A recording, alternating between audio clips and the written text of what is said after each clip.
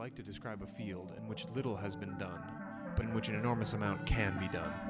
This field is not quite the same as the others in that it will tell us little of fundamental physics, but it will tell us much about the strange phenomena that occur just below our perception. In contrast to the natural philosophers of the past, the scientists of this field delve into the recesses of nature and show how she works in her hiding places. Their quest is to understand and create the imperceptible. After all, there is plenty of room at the bottom. Hello and welcome to the Materialism Podcast, an exploration of the past, present, and future of material science and engineering. My name is Andrew, and today I'm not joined by Taylor, but I'm in his shed with Jared. And today's a special episode. Last year, we did the Andrew and Jared special, and we're back. The the critically acclaimed Andrew Critically Jared special. Yes. One of the highest rated episodes, so we figured we had to do it again. And today we're talking about a pretty special topic to both Jared and I photography and the materials that make it possible. Now, Jared, how was the first photograph made? So obviously, you know, the idea of capturing someone's image has been around forever with paintings and very different mediums, but the one that really began the accessibility to photography was the daguerreotype, which is I may be butchering it. It's French, but it's definitely an interesting take and something that we'll probably never see again, in which they would take a copper plate that had been plated in silver, they'd shine it as much as possible, and then they would expose it to chemicals that would make it light sensitive. You'd put it in a camera obscura, and then the camera obscura would put an image onto it. Then you'd seal it with mercury fumes. Then you'd seal it again to make it not light sensitive, and then you'd finally have an image that you could look at.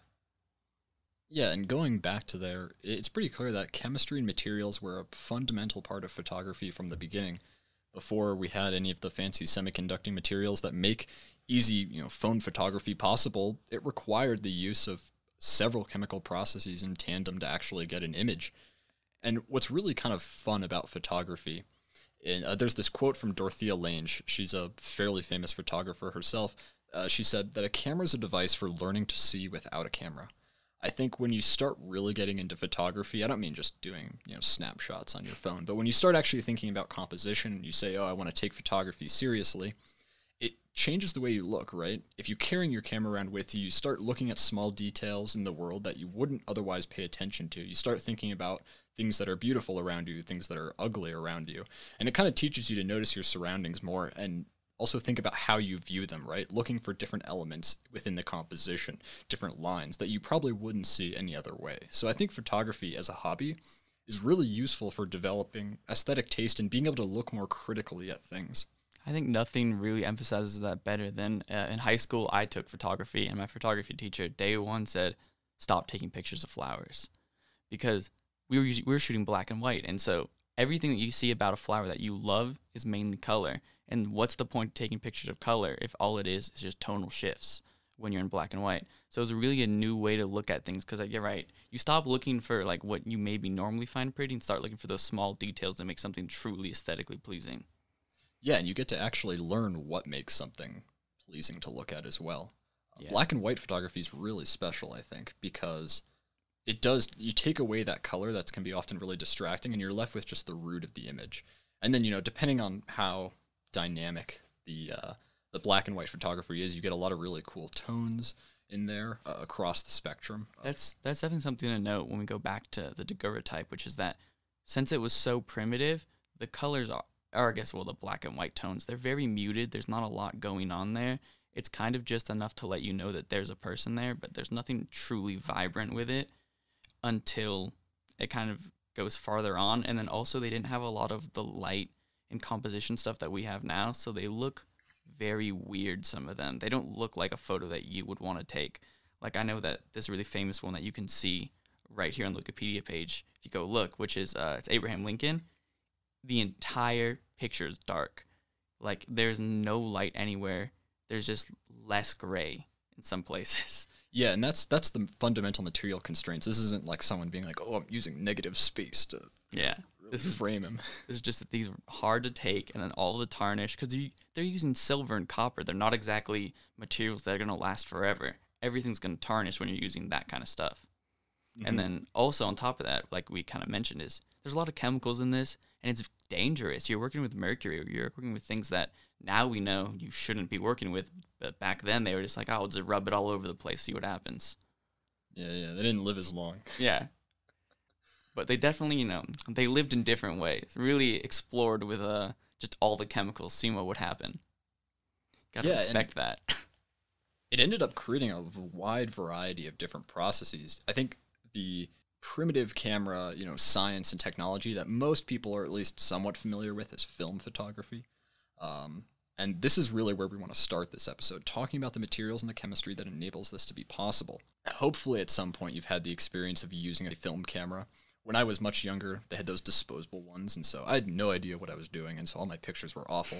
But it's just a totally different process, right? You can't check your photos until you actually go and develop them. So there's more emphasis on the initial take. You have to think about all the different elements and compositional things as you take the photo. and the numerical constraint too because you're it's always 24 36 there's no unlimited takes like now when i shoot pictures i'll take like 100 photos on my camera because i can just delete the ones i don't like you don't get that with film it is really a one and done thing especially with like the, the polaroids and stuff but that's a whole other thing we'll get to and it wasn't that cheap either. We'll we'll we'll go into some of the cost constraints, but let's dive into what the structure of this looked like, right? So we have these thin film strips we'd put into cameras, and we'll start from the bottom.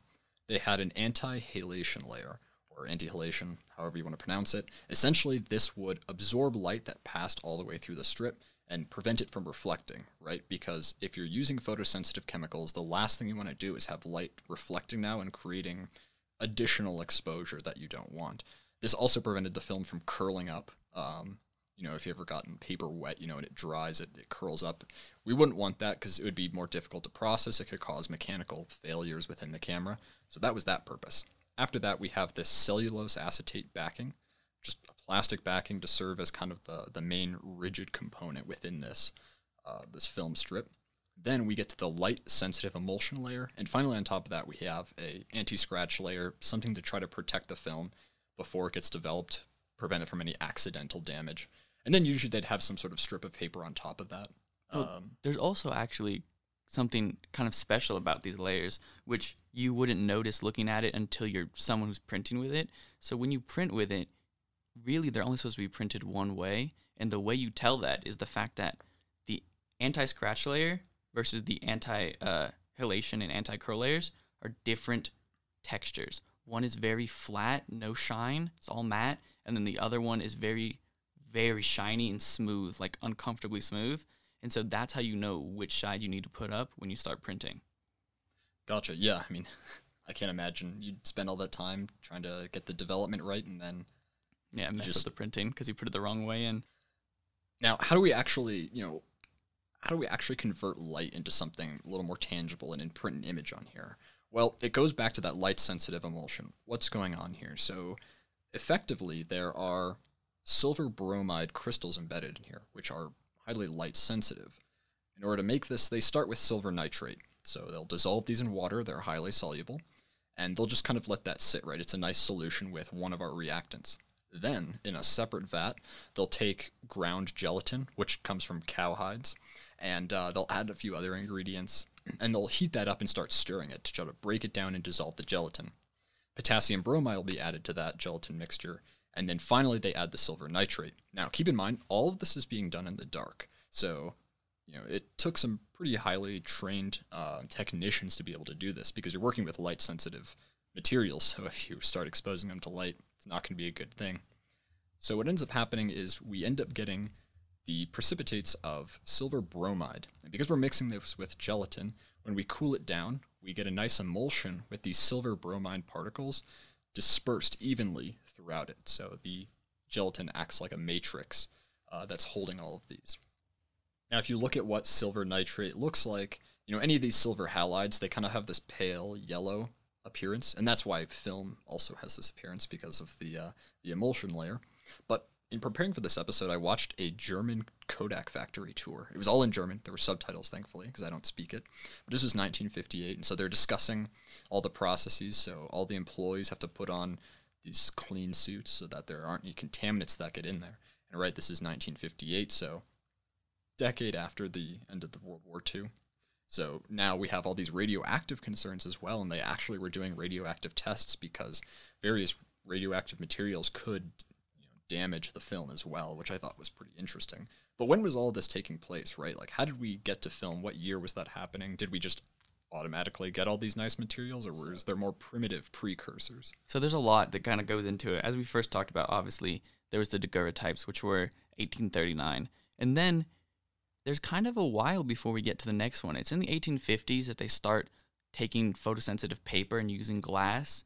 And then we get the plastic in 1889. And it really isn't until 1908 where Kodak makes the first true like film that we're used to today, which is cellulose acetate film. And it's, you know, flexible, little transparent, everything that you know film to be.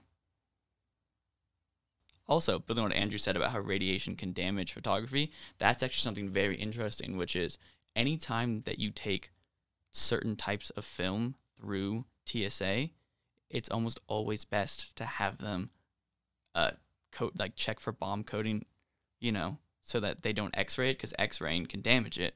And I did that once, and they were like, "Oh, there's," I think they said nitrate. They said there was something on it that was in bombs, and so I had to get a full finger testing everywhere to like make sure there was no explosives on it. I was like, I'm just I'm just, Just trying your, to move my just your holiday picks. I was like, I'm just trying to literally it was like I'm just trying to move my holiday pics, man. Why are you doing this to me? So a solid like fifteen minute wait. Typical TSA, right? It started with smoking, and now they're just getting rid of everything. Yeah, I know. How could they do this to us? Now that's also something that is really only concerned with like specialty film because it matters the ISO, what kind of film it is. So like most film you put through, nothing will happen to it. I've put so much film through X-rays, nothing. It was just this like one was something that I was worried was gonna get ruined, so I put the extra care in. Yeah, there's a variety of different quality control measures that they end up placing on these, uh, and you know the process and what they're looking for kind of depends on what they're actually going for. As you were talking about with the film itself, they'll use different chemical compositions, different um, additives as well to achieve different effects. Uh, you know, trying to lower ISO, make it a more clear image, or make it more sensitive. We'll talk about that in a little bit, but you know, so they make this mixture, right? They have this emulsion. Then they have to slowly coat it on these plastic sheets, and then they also have to cover it up with the anti-reflective coating, and then eventually roll it up and put it in its nice film compartment. And this is all still being done in the dark. They're showing this guy. He's like changing out these rolls of, uh, you know, plastic coating, the anti-scratch coating, right? It's these big rolls, and he's kind of doing something fairly technical to to change it out in this machine. And the fact this is all in the dark, and they don't have you know night vision goggles on or anything, definitely speaks to the technical you know accomplishment of the people working in these factories. It's also really important to remember how thin these are. Like this is maybe even a little thinner than paper. This is not this huge gelatin layer. This is a very delicate process that they're doing. And then as you add it in the dark too, like it's insane that they were able to do this. Yeah, and uh, when they would get them out, they would typically do a variety of um, tests on them to make sure that they're actually getting the effects that they want. So they would essentially do what's known as sensitometry, which is the science of measuring sensitivity. So what they would do is they would take a series of the material and then they'd gradually increase the amount of exposure they would apply to various parts of this, and then they would measure. uh, Well, they would after they would undergo development with the materials, right? But then they would measure the density of the silver deposit on each of them, and that way they were able to essentially create a plot of the amount of exposure versus the amount of silver that would be deposited. I just talked about silver being deposited, so I think now's a good time to actually dive into how this works, how we actually get a, a picture on these film. So, Jared, you have a film camera in your hands right now. Why don't you Yeah. just take a picture and I'll explain the process? Here we go. Jared just took a photo there. Okay, so film strip has been passed into the, the designated area. The aperture, based on the settings he put into it, was opened and closed at a specific speed for a specific amount of time. And so photons from light have entered and hit the film strip. So our photon interacts with our silver bromide crystal. The bromide ion, it's negatively charged, it has excess negative charge. When a photon interacts with it, if it has enough energy, it can cause an electron to jump from the valence band to the conduction band, where it can migrate freely around the crystal. Now, if we had a perfect crystal of silver bromide, there'd be really nowhere for it to go. It would eventually just fall back to the valence band, no big deal, nothing. We wouldn't get any any photograph from that. But what they'll end up doing is they'll do something called sulfur sensitization, where they intentionally are adding various defects to the crystal structure, and these defects they refer to them as sensitivity specks. So the electron will eventually fall into a shallow electron trap state that's created by the sensitivity speck, which will cause the speck to become negatively charged. Now, a positively charged silver ion becomes attracted to the sensitivity speck and will start to form an agglomerate of silver there, right? More uh, electrons get freed, more silver uh, atoms migrate there. And what we get there is known as the latent image. Now, something really quick, just that's important to know about film is obviously not all film, like we said earlier, is created equally, and you're gonna have a lot of film that's different sensitivities, and that begins to manifest itself in what you said your ISO as, which basically just means how fast you want the shutter to open and close and how much light you want to hit it. So when it's a low number, it's very quick. You want just a little bit of light because it's very sensitive. The higher numbers, it's less sensitive. And they all have different things that you want to actually take a photo with when you select that film. Yeah, that's right. Instead of sulfur or some other defects, sometimes they'd actually put very small, like gold particles in there. And the cool thing about gold was that you actually needed less light, eh, less photons in order to actually trigger. And so, for let's say a given exposure, you would need less, or let me see, in order to get an image, you would need less photons, essentially, right? You could do it with less silver atoms. So, therefore, that would be a more sensitive film. And so, in dark, low light situations, that might be more appropriate. What's really cool is that you can get an image with just four silver atoms on that sensitivity speck, which is which is crazy. And so it, it really goes to show like kind of the chemistry that's going on here. Now, this process is happening throughout the emulsion, depending on, you know, if, if photons are hitting it, right? Darker areas are going to have less light hitting them, so you're not going to see the, the agglomerate of sil- metallic silver being formed. And and that agglomerate is what creates what we call film grain too, because obviously as it gets more, you start to get those grainy images because it won't be perfectly fine. Except for there's like you know ultra fine film and stuff. There's a whole thing there, but we won't get into that. Now obviously you you have this image. The question is how do you get it from not being able to see it in a camera to being able to see it on a strip? And that is the process of obviously, as we all know, developing. I think that a lot of people get this image uh, when you're developing something that you're in this red room and it's all like very secret and mystifying. The reality is a lot less interesting these days. Uh, you take the film, you stick it in a bag, you open it in the bag. And the reason it's in the bag is because this is a light tight bag. It usually has two to three zippers and layers to keep all the light out. Once you have that, you unravel it.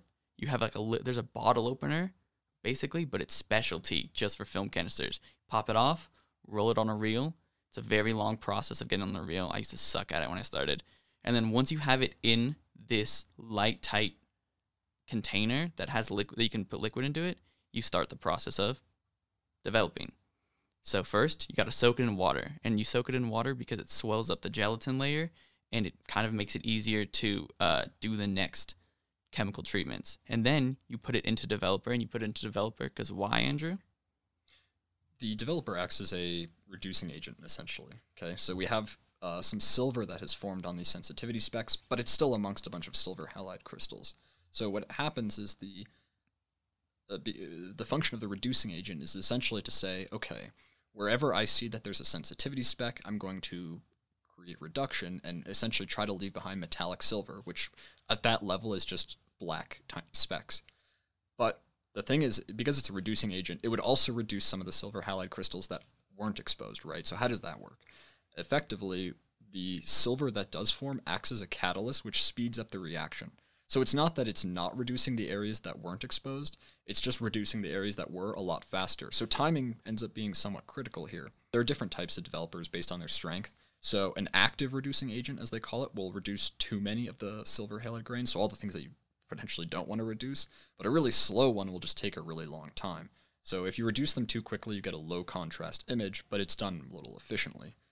Now, if you do it too slow, you get a nice contrast image, very you know, you get the, the image you want in nice quality, but it takes forever. So oftentimes they'll just pair these together. And also in uh, you know typical chemical reactions, there's a little bit of physical physical activity involved in this. You do have to kind of pick it up and shake it every once in a while to keep obviously new stuff constantly going over and moving things around to really get it to develop properly.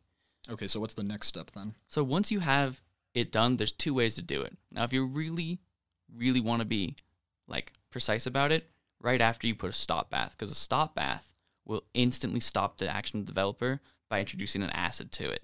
But if you don't care that much and you you can take a little bit extra over developing, you can just rinse it out, shake the water around, and just rinse it once or twice with clean water, and it'll do the exact same thing, just a little less effective. So essentially, we're just trying to stop the Yeah. re- reduction of those, You- uh, the unwanted reduction of yeah, those. you just want to once you've got that developing number that you think is right, you just get rid of the rest. But obviously, as we said, this is still a very reactive thing, and the key now is you've got to make it not reactive, and that's when you add a fixer. And a fixer smells gross, gets everywhere, and is expensive, but it does a good job of stopping the image from being overreactive, and so that you can actually now expose it to light once it's dried off.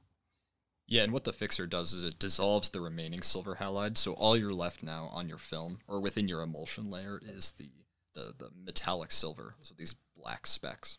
And this is black and white photography naturally.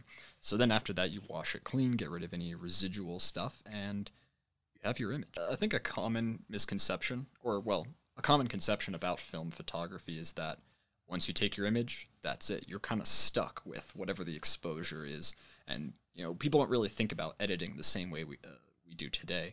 But it was actually possible. There's this really famous photo of James Dean uh, from 1995. It was taken by Dennis Stock, but uh, I'll include a link in the show notes where plenty of sources there as well, uh, where you know Pablo Inirio, you may have heard the name. He does a bunch of post processing stuff. So he marks up this image and talks about it, and then he uses this process that Jared can tell us about called um, Burning and dodging. called burning and dodging, essentially to lighten or darken different parts of the image in order to bring contrast and bring out certain elements. So even back then with film, they were still editing. But how does burning and dodging work? Well, first of all, if you use Photoshop, you may be you may know the word burning and dodging. And if you use the Photoshop, it's the exact same way. So when you actually print a photo, it's kind of the same process where you're taking a like you're taking the cell of film, you're exposing it to light, but this time the light is passing through it and projecting it onto paper. That paper is photosensitive just like the film was, and you go through the whole process of developing it. And you kind of workshop it until you find a number of time and a number of light exposure that looks the best. But, you know, obviously it'll never be perfect. So what you do is you burn and dodge. And to burn and dodge, you mark up the places on a photo that are either too dark or too light. You look at it, and then in your mind, you imagine where that'll be on the piece of paper you're staring at. You take cardboard. That's what I use. You know, there's probably more professional tools. You cut holes in the cardboard, and then you shine the light through the cardboard in the holes on just the parts that are too light. That makes them darker. You go to the parts that are too dark. You cover the that section with cardboard. Then you shine the light on it again, and then that lightens it because less light's hitting it. It's not is a science obviously, but it's not exactly the science when you're looking at an image and kind of just guessing because it'll never be perfect. It's just a constant guess of time. Like there was times where I've printed photos 20 times before I was actually able to get one that I was like satisfied with. Yeah, and describing that process, it sounds awful and rather imprecise. And if you look at Pablo Inirio's markings, he's going to have to do a lot of that on this image if he wants to get what what he actually wants. So there's there's definitely probably an art to it. Now you're talking about the actual printing process. So hopefully uh, we know that when you you get film right, it's in the form of a negative. So the spots that were light in your image are dark on the the film, and the spots that were dark are light. So then when we shine the light through the negative on the you know the paper that we eventually want to use for printing, it's now going to create the positive image, so the reverse. But that's how black and white film works. How does color film work, right? That's got to be a little more complicated, and it is. This functions exactly the same as black and white, except in this case there are three layers and they have dye dicouplers. So you have your, your base, right, your cellulose acetate, and then you'll have a cyan layer. This is a red sensitive layer. Above that you have a magenta layer. This is a green sensitive layer. And then on top of that you have a yellow layer that is blue sensitive. Okay, so how does this work? They're essentially using subtractive coloring. So they take white light and then by subtracting different colors from it, they're able to achieve the primary colors. So for instance, I'm taking a picture of something that's green. The layers that are going to be, you know, activated um, are the cyan and mag- or no, or yeah, the cyan and the yellow. And so that when light eventually passes through the negative that's formed, it's green that comes out because you've subtracted cyan and yellow from it. It works exactly like a printer has. That's the reason you probably recognize those three colors, is because with those three colors, you can essentially create anything, which is similar to like how R- RGB works. It's the same kind of concept. They're just using different color choices. Yeah, exactly. And they have um, they have dyes coupled in them, so it, it, it's just a little more complex in the layering. And sometimes they'll have like nine layers. I've seen. We can we can post the picture when uh this goes up, and I promise you, it is complex and confusing. But all that matters is that it does work. with color film photography, the film's a little more complicated, so you have more layers, all these other intricacies. You don't want to mess up the dyes or you know break anything. So the development process takes a little longer. It's about 12 minutes, give or take, depending on it. But that's mainly for the subtractive one, which most of the really popular ones were, except for one, which is Kodachrome. Now, if you were around during digital photography or you're kind of an enthusiast, you've probably heard of Kodachrome. Some of the most famous color photographs were taken with this. Um, the Afghan girl picture, if you don't know that picture, I'm sure you've seen it. Go ahead and look it up. It's a really beautifully composed and colored photo. But Kodachrome just had this really nice color appearance. But what made it kind of interesting is that it was an additive process. So within Kodachrome, they still had those layers, but there weren't any dyes in there. Essentially, you were still just taking a black and white photo, and then they had to go through a very careful and proprietary development process where they would have to pretty much guess which layers were corresponding to what colors to try to get the the color that you were interested in.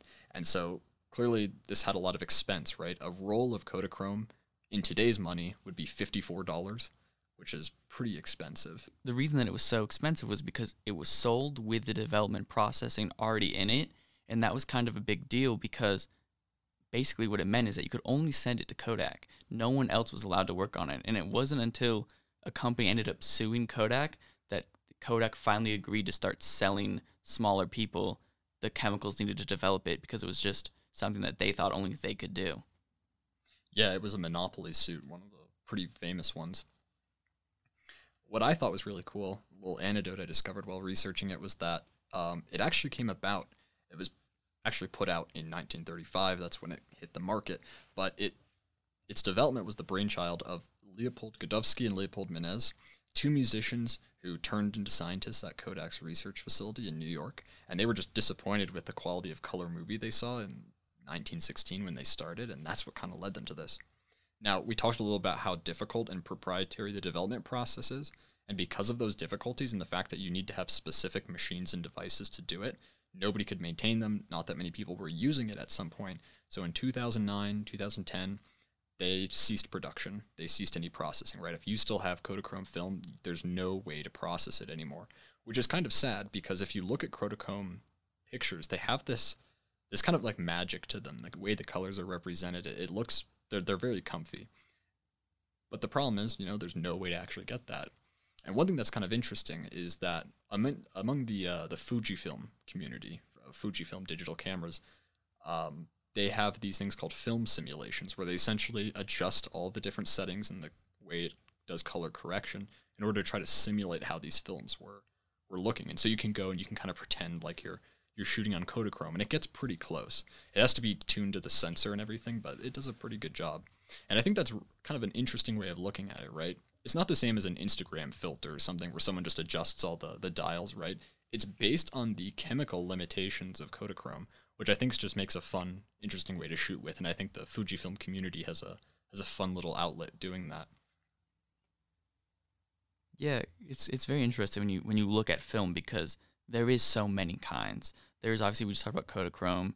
There is Ektar, which is something that makes it like very blues. There is Ektachrome. Kodak themselves makes such a wide array of different kinds of films that it is insane, and that's why something like film simulation I think is such a cool like new idea, and I'm glad that it's been getting more and more traction. Yeah, there's this awesome website called Fuji X Weekly, and this guy has like uh, maybe a hundred different film simulations by now, depending on the different cameras you want. So even if you're not a photographer, it's kind of cool to go check out and see how people are trying to revive this in the digital era. Speaking of digital cameras, let's jump into how digital sensors work. But before we do that, we're going to do a quick cutaway and talk about some of the sponsors that make this show possible. When we get back, we'll tell you about how digital sensors revolutionized photography and enable us to carry around small little pocketable cameras that can take thousands of photos.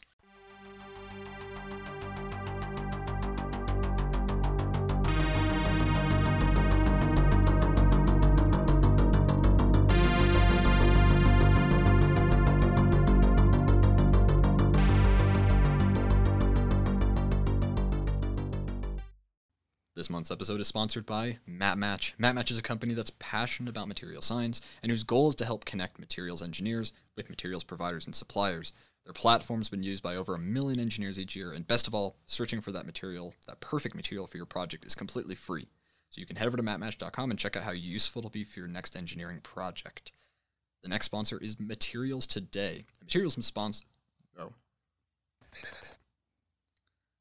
The Materialism Podcast is also sponsored by Materials Today. You can visit materialstoday.com to stay up to date on the latest happenings in the material science field and read some of the fantastic articles that they have published. You can also head over to elsevier.com and find out more about their journals, books, conferences, related programs. I think if you're a material scientist, it's important to stay up to date on what's happening, and they have a lot of great articles that go into some great concepts that you can read, so go check them out.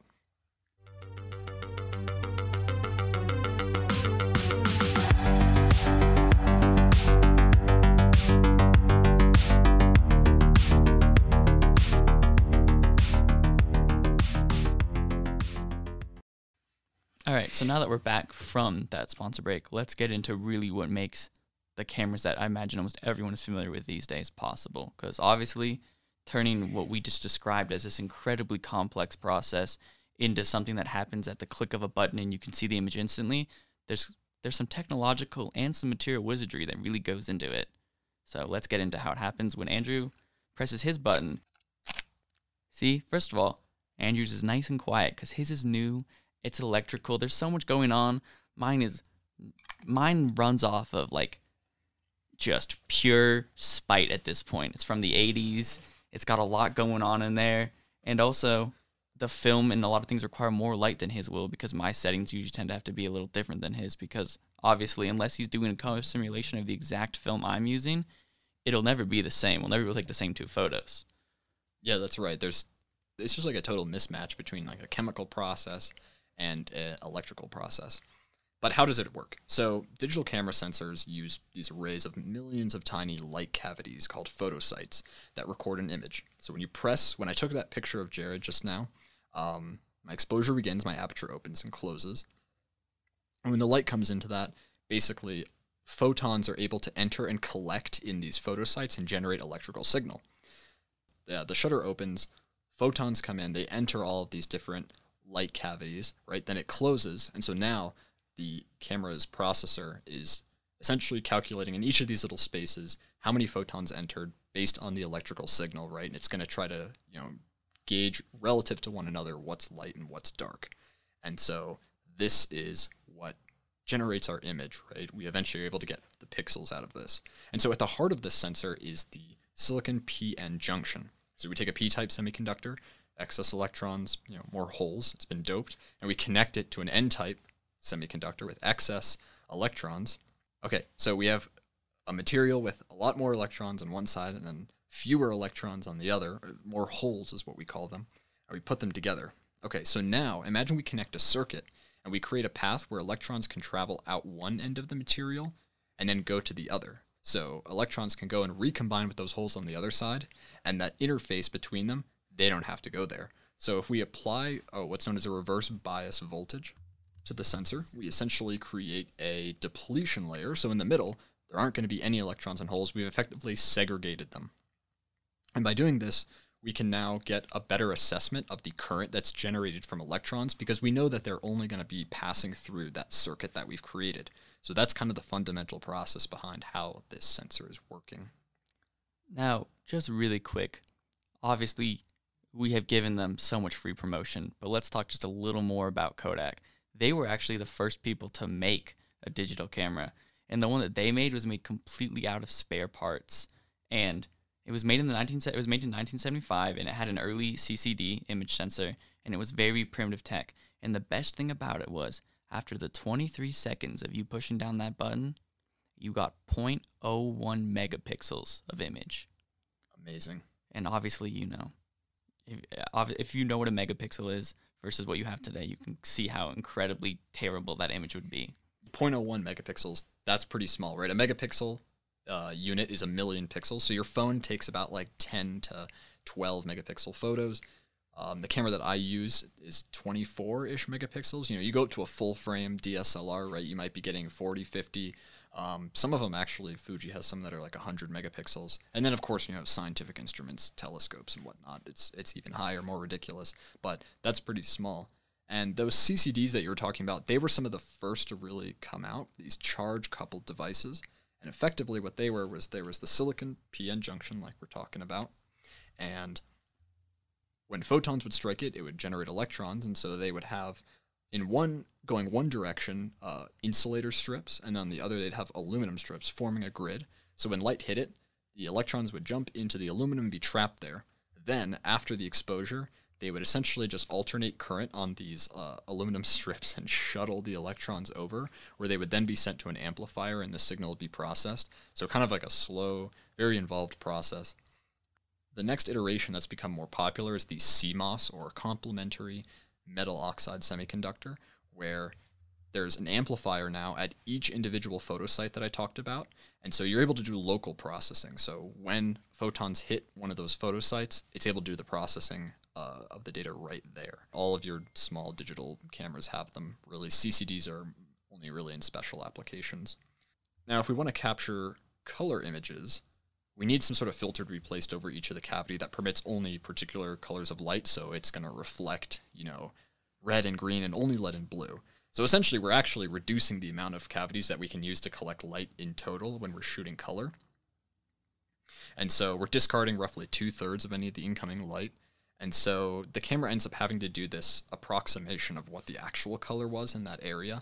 And so to do that, they apply a color filter pattern, and then they end up kind of revolving around that. But the most popular pattern is called a Bayer array.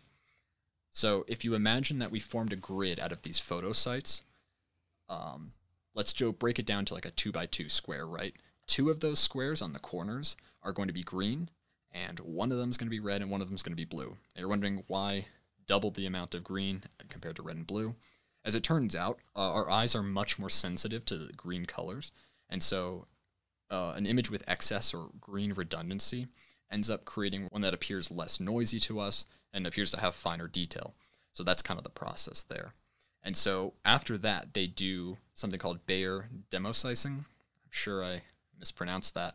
But essentially, what they do is they form various two by two little grids and they kind of revolve over the all of the photo sites. So they'll end up having some overlap, but they can then use that to calculate the average color of that region based on how much was absorbed in each of the photo sites. And that's how they can kind of start to generate color. In order to actually extract the color that's being generated here, they do this process called Bayer demosicing. I'm sure I'm mispronouncing that, but whatever.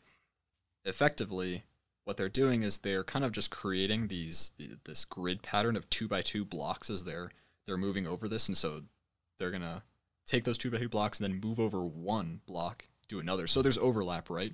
And they sort of average the color value that's generated by the four um, photo sites in this grid in order to try to calculate an accurate color here if you look at a real world camera sensor, I mean like a really zoomed in image, they don't actually, their, their entire surface is not photo sites.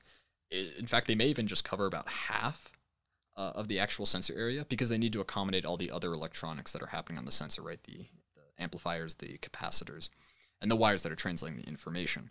So this potentially means we're missing out on a lot of information in our in our image. So in order to try to increase the efficiency, they implement these micro lenses there, which are essentially like little mirrors that act as funnels in order to increase the amount of photons that are captured within each photosite. And that way they can try to compensate for the fact that the entire surface is not photosensitive. And so they can try to bump the resolution and the information up this way. So there's still actually a, a quite a lot of you know engineering work being done in this particular area to try to improve the amount of light that's captured in the processing. One thing that's kind of interesting is we talked about the Bayer array, which has pretty much dominated the market, but Fujifilm actually has their own process here. If you look at a Bayer array, let's say you move horizontally, you're essentially just alternating green, blue, green, blue, so there's no actual red signal. If you take a picture with a Bayer sensor of something with really fine lines or really fine detail, kind of near the resolution limit, you start to get all these artifacts and distortions there. And that's just because there isn't any red. Uh, and, and, it's because of how repetitive the pattern is. It kind of matches up. Um, and so Fuji, to try to avoid, avoid this and fix this, created something called the X-Trans sensor. And basically, instead of doing this two by two grid, they do a six by six grid system where the corners are green and the center's green, and then two are blue and two are red. And it, it alternates. And I mean, point of the matter is, is it creates a more alternating pattern where they don't have these issues with fine details. And the other cool thing is, you know, to try to avoid these issues with a Bayer sensor, they'll actually put a low pass filter that reduces the amount of light that comes in and kind of lowers the quality. But because of this X-Trans sensor, they don't have to do that, so they can get uh, more. They can have more sensitive sensors essentially. Now, obviously, we've spent this entire time talking about the materials and the chemistry that goes into creating the photo that you see. The first thing you need to do is get the photo to those materials. And what better way to do that than with lenses? And lenses are a whole new can of worms. If you thought that the science there was tricky, get ready for something new. The first thing that you need to know about is that there are focus free lenses, which are just one flat lens that doesn't need any focus. It's a set length. There's nothing you can do to change it. And those are my favorite lenses because they require no explanation. They're just glass. Yeah, when I took physics two, they did like concave and convex. I was like, all right, that's enough. But then you look at some of these lenses that you can buy, and they have like 10 elements, so 10 different lenses that are all changing the length there, and now they can adjust their focal length and they can zoom. And the, the whole process and the math here becomes crazy. I dove into this subject thinking, okay, yeah, I'm sure, you know, Nikon, Canon, they have these nice little simulations where they just say, oh, yeah, I want a 23 millimeter equivalent focal length and uh, uh, it can zoom this much or whatever. And then the you know the simulation thing will calculate exactly what kind of lenses they need. But little did I know that it gets much deeper than that. Now, we're talking about glass here, right? You know, this is superbly high quality glass. It's not the stuff that's on your windows, right? For a lens to cost eight, nine hundred dollars is not actually all that unreasonable and that's that's even for lenses that don't zoom like prime lenses you can get there. I think you know if i'm looking at leica uh, which is a very high-end camera manufacturer they do they have handmade processes for almost all of their lenses with of course some precise machining. They have lenses there that can cost $14000 like it's more than a car. What makes the glass so special is not only the highly precise machining and processing of the glass right? They have the cooling and the quenching down to like 0.00 one uh, you know differences across the glass surface, but they also add a lot of additives. So what are the additives going to do to glass, right? Is that going to discolor the glass or change the color that's coming in? The main reason is they're trying to avoid something known as chromatic aberration. If you've ever seen that Pink Floyd album where the light hits the prism and then diffracts, what's happening there is light dispersion. So light that's that's higher in frequency, so blue and purple, are is getting diffracted much more than red light. And the main reason here is that within glass, um, you know, the atoms that have their, their electrons going around. If light comes in with enough energy that it can promote an electron to a higher energy state, then it's going to do that. It's going to absorb that light, or it's going to create some sort of electronic structure in that region that is is different. So when blue light comes in, there's the potential that could be absorbed.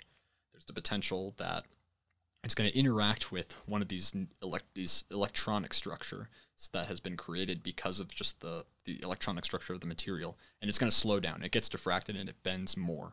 Versus red light, the energy is not enough, so it just passes right through.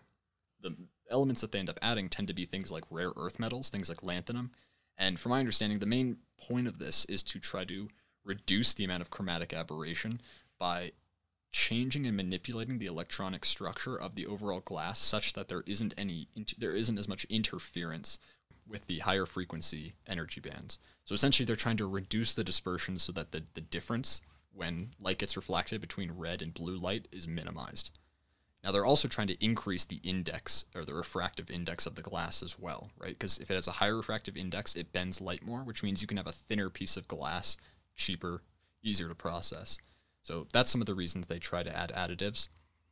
Um, and typically they have two kinds of glasses they'll use. They'll use crown glass, which that's trying to minimize dispersion as much as possible. And then they'll have flint glass, which is trying to uh, increase dispersion. And so they tend to put these things in tandem in, in very complex shapes in order to eventually bend light and get it to this perfectly focal point on your sensor. One other reason they add additives besides the trying to reduce chromatic aberration is it can lower the melting point of glass and make it easier to work with. So if they're doing intricate processing steps, they don't have to get it as hot, it's safer to work with. The other one is to prevent reactions from occurring and various oxidation with some of the elements in there. In the search of knowledge about this topic, we were obviously trying to figure out why you want to add these rare earth elements. What do they do? And we came across this article, and it was, you know, a pretty nice explanative article. A lot of it made sense. And then we got to this section, and they're talking about the first ones they ever did. And the easiest way that they could add these rare earth elements was just to add thorium. Now, as we all know, thorium is radioactive, it's dangerous, it's not something you want to put next to your face constantly. And the company that was creating these lenses thought of that. They were aware that it was dangerous, and so they put a little star on it so that you would know that you were using thorium. That was it. There was no other Yeah, real research. Just a little like, oh, asterisk. You're yeah, you're also getting exposed like harmful radiation exposure. And the other thing is this happens like late 40s, so right after you know everyone's under like they nuclear, knew. you know, fearing like nuclear bombs and radioactive threats. They're like, uh, yeah, just put the star on there. We'll deal with it later. These are like collectors' items now. People will people will actually try to collect these radioactive ones. I hope they store them safely. and we know you're wondering, the picture quality, not that much different. yeah, you and this really- was yeah. this was Leica that was doing this, Yeah. by the way. You were risking health for a picture that was a little bit better than the ones that weren't dangerous. Now, this is still an active area of research. The trade secrets here are pretty safeguarded. Um, you know, you think of photography being like, okay, yeah, we got Canon and Nikon, but really it's a highly competitive space. You know, one year one company's up, the next they're down. And it really comes down to this, you know, pushing the technology of optics and getting the clearest image at the lowest cost and removing these things. And so it's still highly competitive and an active area of research, both on the materials end and the physics end as well. And one of the really interesting things I found is the potential of using liquid lenses.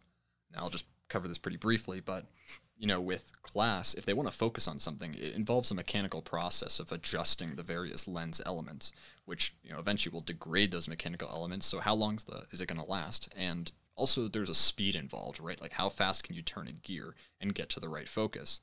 One of the new, potentially interesting areas is the idea of a liquid lens. So they're using electronics and magnets to try to control the basically the aperture and the positioning of different liquids relative to one another. And the advantage here is that they can focus like that. Like it's instantaneous and there's no moving pieces. And so a lot of manufacturing uses this, right? Like if you have a bunch of jars of different heights, you'd have to completely adjust your focus all the time. But if it's instantaneous, it's it's not as much of a problem. And so camera manufacturers are considering this as a potential option. The question is, is how expensive is it going to be to do that? I mean, it's just a liquid, but yeah, we'll we'll see. Yeah, that I, that's I encourage you to look them up. I'll include a, a review article for people who want to spend hours learning about them, but that's not what this topic's about. Naturally, you put all this time in developing expensive glasses, it would really be unfortunate if just something as simple as a reflection kind of just caused stray light and just screwed up your whole system. So there's a lot of work that goes into anti-reflective coatings. Now, this really started back in 1866. Lord Rayleigh, he had optical glass available at the time, and he noticed that it tended to develop this tarnish on its surface uh, as it aged. And so these are basically just chemical reactions that are occurring with the environment. But what he also noticed was that um, this tarnish has a refractive index between that of the glass and the air, and that it exhibited less reflection.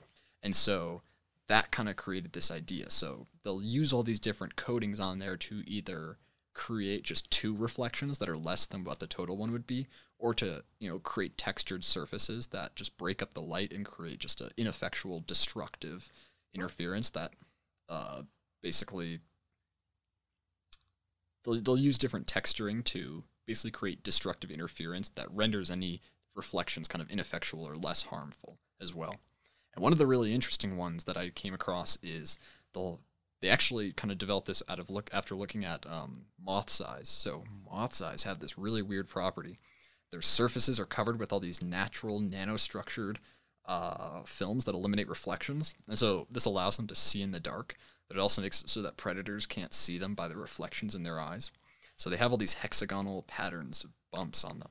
And so the bumps are smaller than the wavelength of visible light. So light just kind of sees it as having a continuous refractive index. So rather than it being like glass to air, there's now this kind of weird gray area. and it creates it, it kind of prevents there from being any reflections. And so Canon actually saw this, and they put sub wavelength structures similar to moth's eyes on their uh, glass to reduce lens flare.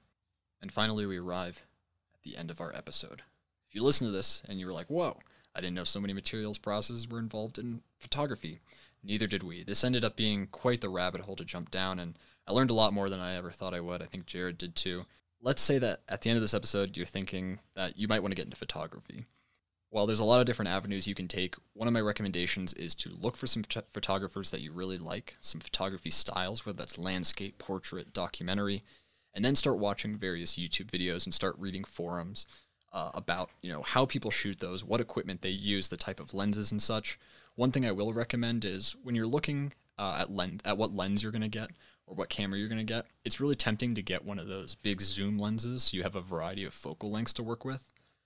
But what I've come to find is that although it's nice to talk about composition, it's actually a lot harder and it takes a lot of practice to actually get good at it. What I like about prime lenses is that they force you to work in one focal length, and if you want to try to compose something, you have to zoom with your feet. It takes work and effort on your part to really get the photographs that you want. It'll help you become a better photographer a lot quicker. So that's my recommendation there for digital. Now, if you want to get into film, I know that we did a great job dissuading you, explaining how complicated everything is, but I assure you, you can go to any thrift store near you you can pick up the cheapest camera that they have there that's film. While there is, of course, you know, a more expensive camera's gonna be better, a lot of them will shoot pretty similar photos. You can even get a cheap point and shoot. I have three or four really cheap point and shoots that were donated to like schools and stuff, and they work fine. They work great. The only thing that you're gonna have to decide, and obviously you can change it anytime you want, is how you want to go about uh, printing them. Like personally, uh, when it comes to black and white, I do go through the whole process of having them professionally printed. But if you just want the photos and the fun of it, all you have to do is wherever you get your film developed, they'll scan them and it's usually like three or four dollars more and you get these really high res nice scans. Or if you're like me, you don't trust people, drop a hundred bucks, get a really nice Nikon film scanner, and you're done. Yeah, I mean it's become a lot more available. And don't try to worry too much about quality. You know, a lot of people are like, oh, I need the largest megapixels possible in order to get a super clear image. If you look at some of the most famous photographs, a lot of them were actually kind of like lower resolution than a lot of the stuff we can shoot on our phones these days. What makes a great photograph is the story that it tells, the composition, the colors. You know, really focus on that. And you can get into photography pretty cheaply that way and produce just as good photos. And when you take photos, we hope you maybe appreciate the science that went into it because of this episode and realize that single click of a button you're doing, 200 years worth of science, thought, ingenuity went into creating it to be the best process it can be. And hopefully another 200 years. This episode required a lot of research and covers a lot of really deep topics. We only really scratched the surface, so I included all of the some extra resources and articles that I used, including some extra go check those, those out. There's the description, so definitely go check those out. There's a lot of really interesting, really good ones that are approachable from someone who might not even be familiar. As always, if you have any questions, please email us at materialism.podcast at gmail.com. We really like hearing from you, so please do so. If you don't like email, you can also reach out to us on Instagram. We post a lot of artwork on there. Uh, I personally make it and I put a lot of time into it, so hopefully you go and check it out. Um, if you're bored, you can always just message us. Someone's bound to respond to you.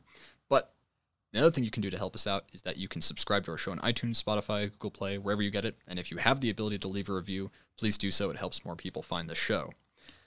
If you want to, also reach out to us on Instagram if you have any questions, or maybe you want to see more episodes on this, or like the lenses and stuff. We will always be happy to make new episodes about what you guys are listening to, and we're always creating lists of new episode topics. So just let us know. Big thank you to Alphabot, who made our transition music, and Kolobite, who made the intro and outro. They both do a lot of really good work, so look them up with the, the science involved. And once again, thank you to our sponsors, Elsevier and MatMatch, and we'll see you guys in the next episode the inventors of fire, electricity, magnetism, iron, lead, glass, silk, cotton, the makers of tools, the captors of lightning, the architect, the engineer, the musician, are all beneficiaries of the materials of this world and are bound only by their imaginations in manipulating those materials.